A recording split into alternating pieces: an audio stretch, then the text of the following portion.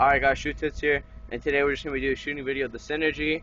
We got the Prophecy, um, it's on speed setting 4, it's on setting 4.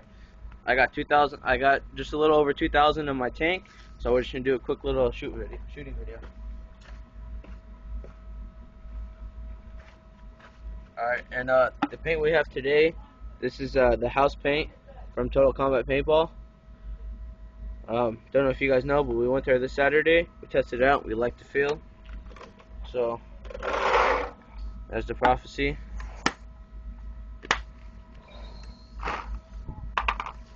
Turn that gun on. And it's on PSP, Cat at 13, and we're going to be shooting at that brick.